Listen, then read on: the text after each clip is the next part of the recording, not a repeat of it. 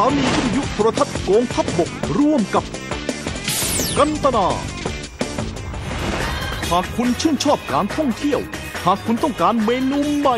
หากคุณต้องการกลเม็ดเด็ดๆในการทำอาหาร มาร่วมซอกแซกให้ทราบซ่านลิ้น กับช่วงเวลาที่จะพาบุกตะลอนในญี่ปุ่น เพื่อสรรหาที่มาและเมนูเด็ดเคล็ดลับในท้องถิ่นพบเทคนิคเด็ดๆกลเม็ดเยี่ยมๆใน ยอดผลย่นเวลา ตอนซอกซอนตลอนกิน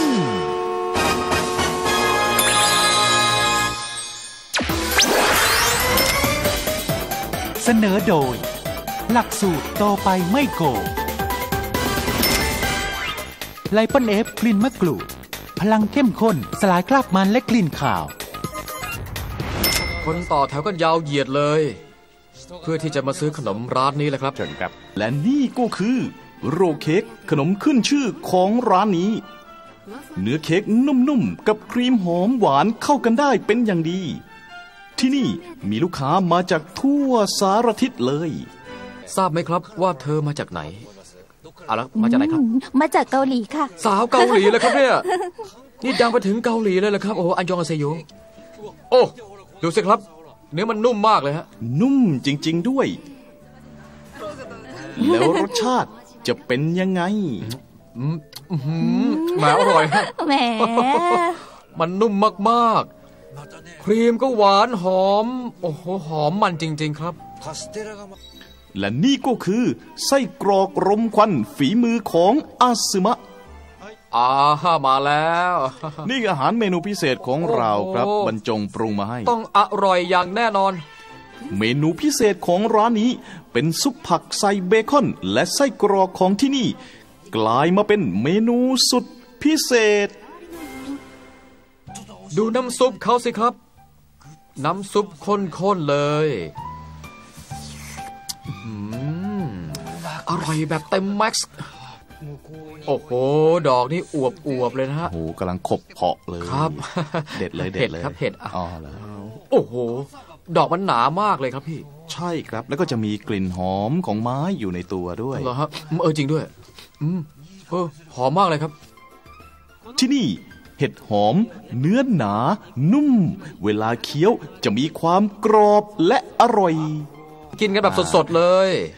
เดี๋ยวมันจะเหี่ยวนะ พอโดครันบไฟแต่กลิ่นมันจะหอม ฟุ้งไปถึงอีกหมู่บ้านหนึ่งเลโอ้ยโหถ้าเริ่มมีหยดน้ำผุดออกมา หลังดอกเห็ดก็แสดงว่าสุกกำลังกิน โอ้โห อร่อยมากเลยครับ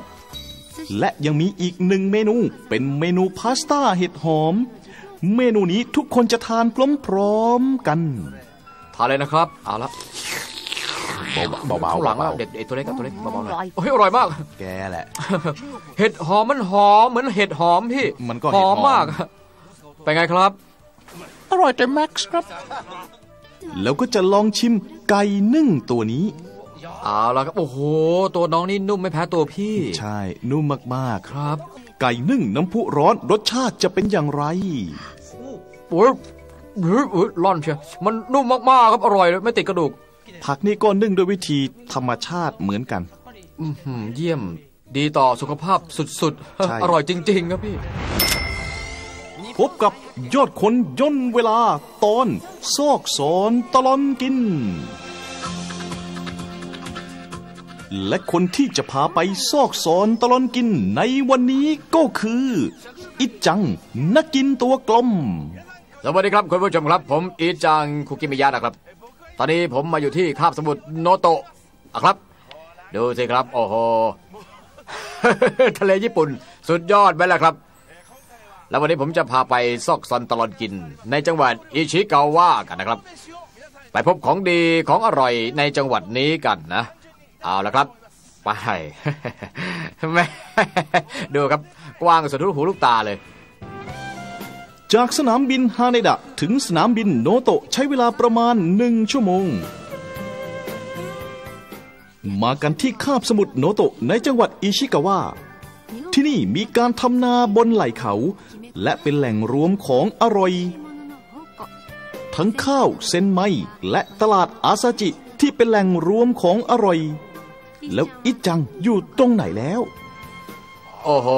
นี่เขาเขียนว่าถนนชิโอไคโด หรือว่าทำมาจากเกลือนะครับอะอะเอ้ย โอ้โห นี่มันนาเกลือนี่ครับ เหมือนสมุทรสาครเลย อิจังมาเจอกับโรงเกลือเซนเอนโจ ที่ทำนาเกลือมาตั้งแต่สมัยโบราณ โอ้โห นี่สาดลงไปเลยครับพี่เฮ้โอ้ยโหยาฮับ โอ้โห สุดยอด นี่กำลังทำเกลือหรือเปล่าครับเนี่ย ใช่ครับ เออเออ อันนี้คือน้ำทะเลใช่ไหมครับ ถูกต้อง เอาน้ำทะเลสาดลงไป แล้วพอแห้งมันก็กลายเป็นเกลือ ผมพูดถูกใช่ไหมครับพี่ วิธีนี้ ถูกครับครับ เราทิ้งเอาไว้ให้แห้ง ก็จะเหลือแต่เกลือทะเล แต่ว่าต้องตากแดดเอาไว้เดี๋ยวไม่เป็นเกลืออ๋อโอ้โหดูสิครับเอาเอาละไอ้ยะมาอื้อหือแบบนี้ก็ต้องมีกล้ามแขนเป็นมัดๆแน่เลยนะโอ้โหทะเลญี่ปุ่นที่อยู่ตรงหน้า น้ำในทะเลถูกนำมาทำเป็นเกลือ อิจังก็จะมาช่วยงานดูบ้างเอาละครับผมผมสาดเลยนะพี่นะอะอะเอาเลยสาดละสาดละนี่จะครับโอ้โหนั่นมีแรงแค่นั้นเหรอสนุกดีอะเออคลายเครียดดีนะครับเนี่ยอ่าอีกทีอีกทีดูแล้วแรงดีไม่เบาสนุกดีเอออะอีกรอบอีกรอบอีกรอบอะเอาอีกเอาอีกอ่านะแรก เข้าปากพี่ไหมไปดูมันครับโอ้โหแต่มันก็เหนื่อยนะเนี่ยนะ โอ้ยหอบเลยเออการทำเกลือที่สืบทอดมานาน 500 ปี ตักทรายแห้งใส่ในลังไม้ขนาดใหญ่ที่มีชื่อเรียกว่าทาเรบุเนะจากนั้นก็ตักน้ำทะเลใส่ลงไป แล้วก็รองเอาน้ำจากด้านล่าง ที่มีเกลือเข้มข้น น้ำจะเรียกว่าคังซุย จากนั้นก็จะหาบน้ำไปที่เตาต้ม อิจังมาช่วยหาบน้ำคังซุยด้วย น้ำหนักประมาณ 60 กิโล โอ้ยคุณลุงทำมากี่ปีแล้วครับเนี่ยอื้อหือหนัก ทำมาตั้งแต่ยังสี่เดือน โอ้โหสี่เดือนแหมพูดเล่นถึงตอนเด็กๆ อ๋อถึงแล้วถึงแล้วถึงแล้วนี่เตาต้ม โอ้โหปวดคอเลยโอ้ยแหมต้องไปนวดไทยหน่อยแล้วเป็นยังไงแหม่เมื่อยเหนื่อยใช่ไหมครับเออครับ โอ้โหแหม่มันโหดไม่ใช่เล่นเลยนะลุงนะ เออธรรมดา ก็ต้องเท คังซุยใส่ลงในนี้ด้วยอ๋อครับครับอ้าวโอ้โหเทลงไปแล้วครับเอาละฮะเอาละ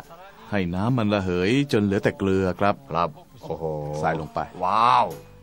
แล้วก็ต้มจนน้ำระเหยออกหมด เหลือแต่ผลึกเกลืออย่างที่เห็น โอ้โหเกลือทั้งนั้นเลยครับอื้อหือเกลือล้วน ที่เห็นอยู่นี่คือผลึกเกลือบริสุทธิ์ร้อยเปอร์เซ็นยังบริสุทธิ์แน่ๆนอน โอ้โห สวยมาก ๆ เลยครับ ผลึกเกลือบริสุทธิ์ร้อยเปอร์เซ็นอุดมไปด้วยแร่ธาตุจากทะเล อิจจังเห็นแล้วก็จะขอลองชิมดูหน่อย ผมผมอย่างนั้นอย่างนี้นะ ผมขอชิมหน่อยแล้วกันนะได้เกลือก็ชิมเหมือนกันนะเดี๋ยวชิมเบิร์บ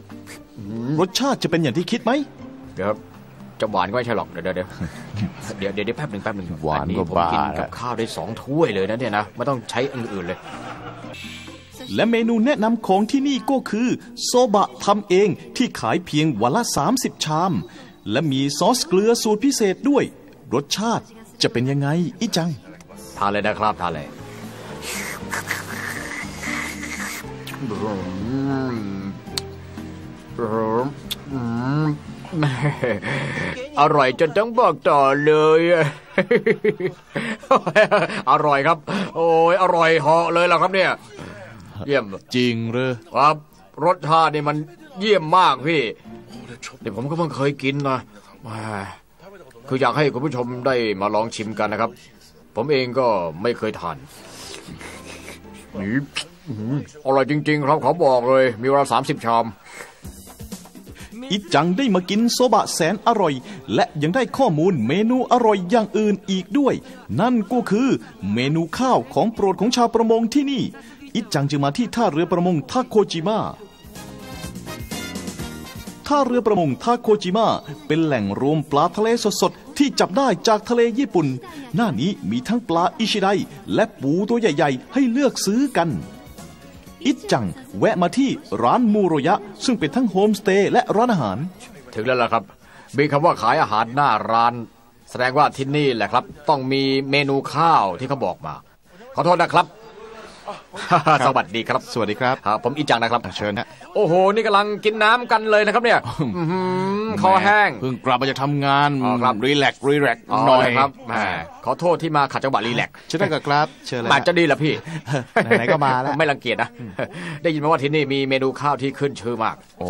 อันนี้ไงล่ะ นี่แหละเขาเรียกว่าดงบุรินะครับ อันนี้มันอันไหนล่ะครับบุบุบุหอัรี่นนี้บุหรี่อันนี้เยบุรินะ อันนี้ อังโคโอ้นาบิเหรอครับแหมหม้อไฟไฮโซ อร่อยนะครับ ยังไงก็เชิญรับประทานได้ได้ไหมล่ะครับ ได้ไหมโอ้โหก็นั่งขนาดนี้แล้วนะครับงั้นโทษนะครับ รบกวนแหมรู้จักมาถึงหนึ่งนาทีอิจังได้มานั่งสังสรรค์กับกลุ่มชาวประมงที่นี่ และครอบครัวของเท่าแก่ร้านนี้ด้วย ช่วงหน้าอิจังจะได้ไปกินข้าวหน้าสเต็กวัวโนโตะน่าทานมากๆครับ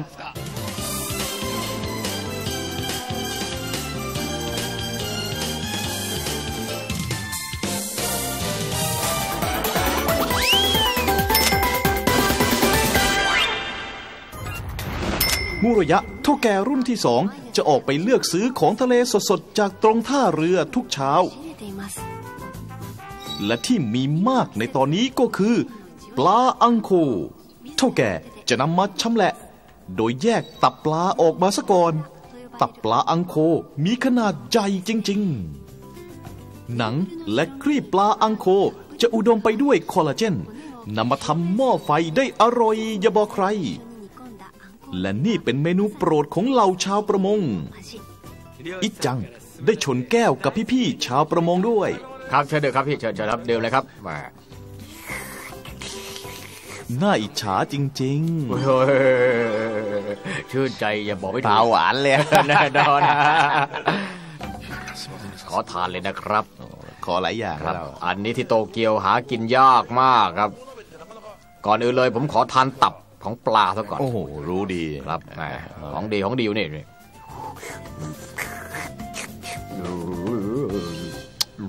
อร่อยตับตับตับ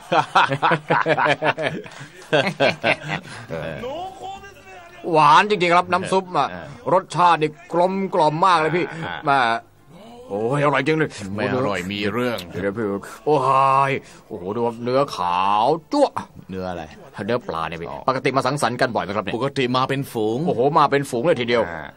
ก็อย่างว่านะทำงานมันเหนื่อยได้มากินของอร่อยอร่อยๆสดน้ำเบาๆก็หายเหนื่อยนะครับใช่แต่ปัญหาก็คือว่านี่ผมดื่มในเวลางานๆและนี่ก็คือเมนูข้าวแสนอร่อยที่เขาบอกมา ปลาอังโคทอดกรอบโปะบนข้าว ราดด้วยซอสโชยุรสเลิศ กินกับซุปร้อนๆอร่อยอย่าบอกใคร คราวนี้จะขอทานเมนูขึ้นชื่อแล้วนะครับเรียนเชิญครับ อังโคด้งแหมอารมณ์ดีแหมแบบแหมเขากินในนาอร่อยนี่เนาะอร่อยเหอไม่ต้องไปบอกใครเขาขอบคุณครับเอออร่อยจริง ๆ เลยเท่าแก่ไม่ครับ โอ้ยอร่อยมากครับนี่นี่นี่อะไรครับเนี่ย มีตับปลาด้วยครับอ๋อผมซ่อนไว้ข้างล่างไม่อยากให้เห็นง่ายโอ้ๆแล้วก็มีสาหร่ายหินด้วย โอ้โหมีสลายหินด้วย ของโปรดผมเลยนะเนี่ยวักข้างล่างก่อนเลยนะแม่พี่สุดยอดมากเลิศมาก อร่อยจริง ๆ ไม่ต้องบอกใครนะแหมคือนี่อยากจะบอกว่าไอ้นี่มัน อร่อยเหาะมากเลยนะ เนี่ยเห็นไหมเนี่ยอร่อยเหอะอารมณ์ดีแม่แล้วก็ได้มาเจอสมบัติอันล้ำค่าแล้ว ครั้งนี้เรามาทัวร์พี่เบาๆหน่อยนะสมบัตินะครับวันนี้ใช่ผมเลยอยากจะมาพักที่นี่จริง ๆ ตื่นเช้ามาก็ได้ออกเรือไปหาปลากัน มันมีความสุขอยังบอกมิถูกเลยนะครับเนี่ยเมาเลยเมายังยังแหมพี่กันแซวพี่กินก่อนผมอีก ที่นี่นะครับครับหนึ่งคืนอาหารสองมื้อครับ7,350เยนอ่าฮะได้กินปลาอังโคแถมได้กินอังโคคุจิด้วยเหรอกินเท่าไหร่กินไปโอ้โหเลยแค่ได้กินอังโคนี่ก็สุดคุ้มแล้วนะอิจจังได้กินของอร่อย และได้นั่งดื่ม และพูดคุยกับชาวประมงอย่างสนุกสนาน ขอบพระคุณมากครับคุณพี่ครับ กินจุแล้วเราเนี่ยเบาๆเลยคอแห้ง ตากล้องอยากสด นี่ครั้งแรกนะครับ ที่ผมโดนทีมงานสั่งห้ามเอาไว้ และยังมีเมนูอื่นๆ จะแนะนำอีกบ้างเปล่าๆคโอ้รับเนี่ยโหลิ้นพันกันแล้วครับเมืองวาชิมะนะที่นั่นมีเมนูข้าวที่ขึ้นชื่อ เหมือนกันข้าวหน้าเนื้อโนโตะเมืองวาชิมะเลยครับโอ้โหที่นี่เขาดังนะนั่งรถเมย์ไปมาน่าทึ่งมากให้นั่งรถเมย์ไปประทับใจจริง ๆ เลยอะ ซอกสอนตลอนกิน ตอนนี้อิจังมาที่เมืองวาชิมะที่นี่มีตลาดเช้าที่เริ่มตั้งแต่ 8 โมงเช้า มีแผงขายผักปลาและของดีในท้องถิ่นอยู่ถึง 200 กว่าแผง สินค้าเพ้นสีของเมืองวาชิมะก็ถือเป็นสินค้าที่ขึ้นชื่อ และมีชื่อเสียงโด่งดังไปทั่วประเทศเอาละครับผมอยู่ที่เมืองวาชิมะนะครับ เห็นเขาว่าที่นี่มีข้าวหน้าเนื้ออุ้ยอยู่นี่อาชา โอ้ยพูดปุ๊บอยู่ตรงหน้านี่นี่ไงครับเห็นไหมครับ ต้องแอบย่องเข้าไปดูหน่อยแล้ว อิจังมาเจอร้านสเต็กชื่อดังที่เปิดมา 40 ปีแล้ว เออเขาว่าที่นี่มีข้าวหน้าเนื้อโนโตะที่ขึ้นชื่อ ครับ รบกวนขอชิมหน่อยนะครับจ่ายตังค์ด้วยนะครับโอ้โหแหมโหดร้ายนี่ไงครับ เนื้อลายสวยมากเลย นี่เป็นเนื้อชั้นหนึ่งของวัวตัวเมียของเมืองนี้ครับครับงั้นต้องขอลองชิมบัวตัวเมียเก้าอี้ร้านนี้มาแคบไปนิดนั่นเนี่ยนะตัวคุณใหญ่นั่นแหละครับเนื้อโนโตะวัวพันธุ์ขนดำที่เลี้ยงในจังหวัดอิชิกาวะเป็นวัวเนื้อพันธุ์ดีที่ถูกเลี้ยงในทุ่งหญ้าธรรมชาติ เมนูขึ้นชื่อของเมืองนี้ก็คือสเต็กเนื้อ โนโตะนำไปโปะบนข้าวร้อนๆในชามหิน โดยมีผักกาดแก้วรองเอาไว้ กินกับสลัดผักพร้อมกับน้ำซุปกลมกลมๆราดซอสโชยุลงไป ได้ยินเสียงแชร์แชร์เพิ่มความน่าทานเข้าไปอีก โอ้แช่แช่แช่เพราะดีนะครับ ครับ คีย์ซีครับครับ คีย์ต่ำนิดนึงครับนะวันนี้อัดเสียลงงแผ่นซีดีขายได้เลยครับอ๋อเหรอแช่แช่โอ้โห กลิ่นหอมมากๆ ว้าวงั้นขอคลุกซะก่อนนะครับ คลุกหน่อยได้ ว้าวโอ้โหดูสิครับ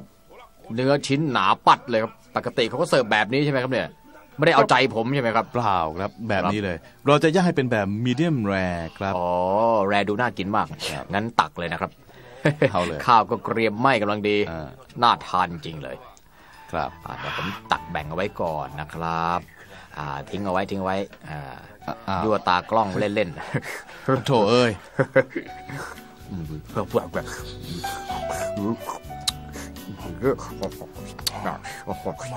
อร่อยเหรอ หนาชิ้นหนาหนาๆแต่เนื้อยังนุ่มเหมือนละลายในปากเลยเนี่ยเหรอครับครับ ผมไม่เคยลองรสชาติรู้ครับเดี๋ยวค่อยลองดิเนยที่ผัดกับเนื้อนี่นะอื้อหือคลุกกับข้าว มันอื้อหือเดี๋ยวอื้อหือผมมันเยิ้มเลยคือพี่รู้ได้ยังไงครับว่าเนี่ยผมชอบของมันมันๆนะพี่เออเอาใจผมหรือเปล่าฮะแหมเช็คของล่วงหน้าก่อนนะเนี่ยใครๆเขาก็รู้กันทั้งประเทศนั่นแหละอีจัง อร่อยสุดยอดนะครับ ยิ่งเคี้ยว ยิ่งหวานอร่อย ผมรับประกันเลยว่า รสชาติเข้มข้น เข้มสุดๆเลยใช่และอิจังก็ขอข้อมูลเมนูอร่อยเมนูต่อไป มีเมนูที่ชื่อมดโซเมชิ น่าจะเหมาะกับคุณนะ ครับ คุณต้องอิ่มแน่นอนเหรอครับถ้าได้กินแล้ว ชื่อมันเล็กมากเลยมดโซเมชิ มันเป็นยังไงล่ะครับเนี่ย ต้องไปต่อสู้หาเอาเองนะ โอ้ยต้องต่อสู้หาเองด้วย เหมือนลงชก K-1 เลยนะกับเนี่ยบัวนะขาวอะอิจังมาตามหาเมนูมดโซเมชิที่หมู่บ้านมิสอิเดี๋ยวจะลองเข้าไปดูข้างในอ่าขอโทษนะครับทุกทุกๆท่านครับแหมผมมาหาเมนูมดโซเมชิอยู่ครับ ครับครับ ขอลองชิมได้ไหมครับไม่โอเคช่วงหน้ามาดูความน่าทึ่งของมดโซเมชิกัน มันน่าทึ่งจริง ๆ ครับ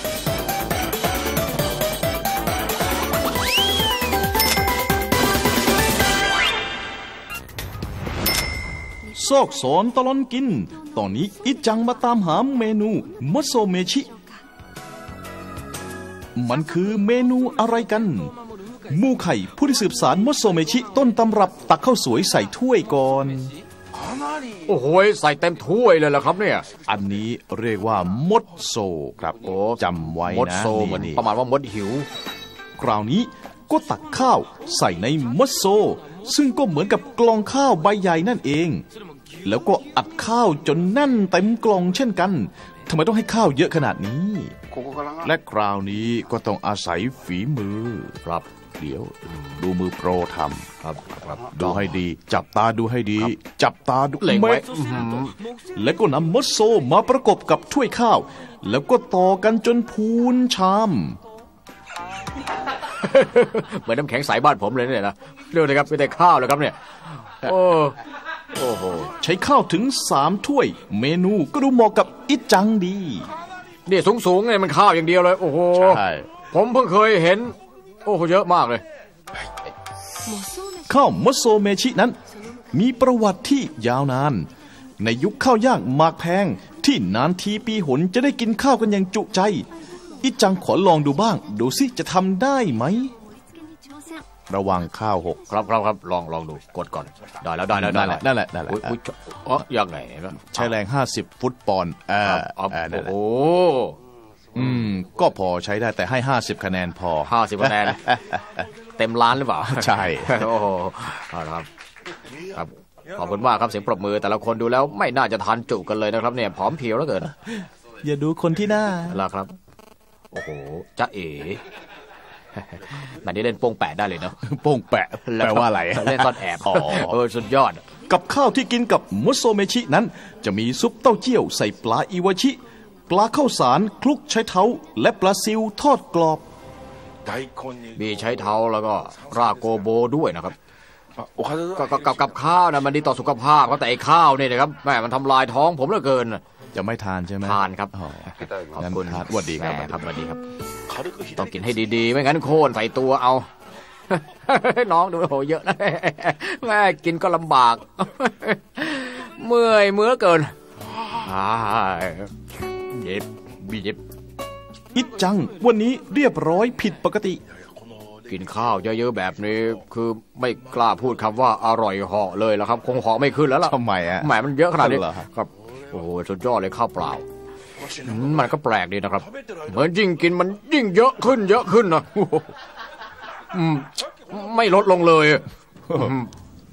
นี่ข้าวมันเพิ่มขึ้นเองหรือเปล่าเนี่ยมีใครกดสวิตช์อะไรไหมเนี่ยมันพอง นี่ถ้าไปที่ลอนดอนนะ เอาไปสวมเป็นหมวกทหารได้เลย คุณเคยไป ไม่เคยอะไปดูในโทรทัศน์พี่ก็หรอแซวอืมเป็นเมนูที่สืบทอดมาตั้งแต่อดีต สืบทอดมาจนถึงปัจจุบัน ครับ ก็ถือว่าเยี่ยมหกโมงจะหมดไหมเนี่ยนั่นนะสิอร่อยเหอต้องบอกก่อนถ้าหมดชามพอไม่ขึ้นหรอกแม่เพิ่งนึกได้ มาครั้งนี้ครับ ผมยังไม่ได้ไปเก็บผักเลย คือแถวๆนี้เขามีผักดัง ๆ ที่ขึ้นชื่อบ้างไหมครับ ฮะพี่มีทั้งดังมีทั้งชื่อเลยนะ ชื่อโกโรจิมาคินโตกิ เคยได้ยินไม่เคยหรอมั้งผมไม่ไม่ได้ยินหรอวพี่ ได้ยินยังจำไม่ได้เลย เดี๋ยวไปไปหากินกันต่อนะ คือคือขอให้ด้วยนะมันกินไม่หมดนะครั้งแรกเลยเนี่ยแม้แต่อิจังเองก็ยังกินไม่หมด ถือว่าสุดยอดจริง ๆ คราวนี้อิจังจะมาที่เมืองคานาซาวะเพื่อไปตามหาโกโรจิมะคินโตกิอ่าฮะสวัสดีครับ สวัสดีครับ คือผมมาตามหาโกโรจิมะคินโตกิโอ้โหท่องมาทั้งวันก็มาถูกเลยโอ้นี่ไง โห อันนี้นี่เองไอ้ชื่อยาวๆ คือถามจริงมันต่างจากมันเทศที่อื่นยังไงครับเนี่ย นอกจากชื่อของมัน อันนี้เนื้อมันจะซุยกว่า อ่า ที่นี่เขาเรียกว่าโคโบะโคโบะ โคโบโคโบกขอชิมนะครับ ขอบคุณมากครับมันโกโรจิมาคินโตกิ ซึ่งปลูกในไร่ขนาดใหญ่ที่เมืองคานาซาวะแห่งนี้ เป็นผักที่ปลูกกันมานาน ดินที่นี่เป็นดินร่วนซุย ทำให้มันเทศของที่นี่มีรสชาติที่อร่อย เป็นมันเทศที่รูปร่างสวยงาม สีสวยและเนื้อหวานอร่อย อิจังก็จะมาช่วยทำงานในไร่ด้วยอุ้ยเจอแล้วครับเจอแล้ว โอ้เจอเจอเจอแล้วเจอแล้วโอ้โห เจอทีเดียวหลายหัวเลย ไม่เจอได้ยังไงผมมาฝังไว้ให้คุณเองอ้าวซะอย่างนั้นดีใจเกอร์แหมดูสิครับท่านผู้ชมเบอร์เริ่มเลยครับคุณทีเดียวเจอที่พี่เขาซ่อนเพียบเลยอ่เดี๋ยวครับ ผมขอดึงอ่าแล้วผมขอโชว์ทักษะการแต่งกลอนหน่อยจะได้ไหมครับ จะรอดไหม ดี๋ยวเดี๋ยวเดี๋ยวมันเทศสวยๆ น่ากินจริงสัมผัสตรงไหนๆมันแหมสัมผัสอยู่ในใจอะครับพี่ เขินเชียวนะแหม และก็มาถึงช่วงนี้ที่กลับมาอีกครั้ง เมนูสูตรเด็ดของคุณแม่บ้านชาวไร่ครับพบกับคุณแม่บ้านท่านนี้นะครับ คุณอิชิซาวะคาซึโกะ รบกวนนะด้ครัวบยความเต็มใจเลยคล่ะรับค่ะเยี่ยมครับนี่ไม่หนาวหรือไงก็เนี่ยกำลังดีครับไขมันเยอะว่าฉันน่ะหนาวหนาวแหมสวีทกันจริงเดี๋ยวงั้นจะทำอะไรร้อนๆให้โอ้ทานได้ครับเลยขอบคุณมากเลยๆซุปร้อนๆที่อิชิซาวะทำให้ทานก็คือซุปมันเทศนำมันเทศรวมทั้งผักต่างๆ ทั้งแครอทโกโบมาหั่นเป็นชิ้นเล็กๆ แล้วนำไปต้มกับเนื้อหมู แล้วปรุงรสด้วยผงซุปญี่ปุ่นและมิโซะ ก็เป็นอันเสร็จ เป็นเมนูอร่อยที่เหมาะกับฤดูนี้พอดี โดยกินกับเมนูมันเทศเมนูอื่นๆ อิจจังจะเริ่มลองชิมมันเผาเป็นอย่างแรก คุณแม่บ้านแนะนำว่าทาเนยก่อนยิ่งอร่อยอย่าบอกใคร เป็นยังไงบ้างเอ่ย เดี๋ยวครับเดี๋ยวแป๊บนึงมันเทศอร่อยมากแหมฝืนไปนิดนึง อร่อยมากใช่ไหมล่าบอกแล้วว่าอร่อย เมนูเด็ดของคุณแม่ในหม้อนี่นะครับครับนี่าวสีสันน่าทานมากเลย โอ้โหดูสิครับอันนี้ไม่ใช่ต้มขาไก่ ไม่ใช่ทานแล้วมันก็เนื้อนุ่ม ซุปนองกันดีด้วยนะ อย่าลืมจำสูตรนี้ไปลองทำทานที่บ้านดูนะครับ สุดยอดเลยทีเดียว ผมว่าไม่งกนะครับ สูตรนี้ ส่วนนี้ก็คือคลอกเก้มันโกโรจิมะคินโตกิางในจะหวานหวานมันมันๆนะเนี่ยอื้อหือใส่มันก็ต้องหวานมันนะพี่ถูกโอ้โหอื้อหือไว้กินหลังเรียนกวดวิชาเสร็จเนี่ยอื้อหือเยี่ยมเลย กินแล้วหลับ เป็นครอกเก้ที่นุ่มอร่อยเคลิบเคลิ้มกินเป็นขนมยังได้เลย อืม จริง ๆ แล้วไม่ต้องใช้ตะกงตะเกียบหรอกนะ ใช้มือหยิบเนี่ยอร่อยกว่าเยอะรับมาไม่บอกแต่แรกมาให้มาเห็นไหมเอร่อยจริง ๆ ลูกสาวก็ชอบกินมันเทศไม่ไปดูลูกเดี๋ยวติดตา โตขึ้นต้องสวยเหมือนคุณแม่แน่ๆเลยอย่าไปเชื่อคุณพ่อเขานะ ตาแหลมนะเนี่ยนั่นสิครับ แหมงั้นผมเลิกล้อเล่นก็ได้ครับขอโทษนะครับ ขอโทษ แหม่โอ้โหเพี้ยตีหน่อยเถแหมอะนี่ทักทายมือหนักอย่างกับอะไรเนี่ยพี่ แดงเจ็บแปลบขึ้นมาทันทีอื้อหือหนักมากเลยเนี่ยอื้อหือผมลาเลยแล้วกันอืมได้โดนบ่อยครับบ๊ายบายนะครับท่านผู้ชม พบกับยอดคนย่นเวลาตอนซอกสอนตลอนกินได้ใหม่ในครั้งหน้าเราจะพาไปสถานที่ท่องเที่ยวสวยๆและไปซอกสอนตลอนกินของอร่อยกันอีกเช่นเคย และในตอนหน้าจิซุรุจะพาไปจังหวัดโทยาม่า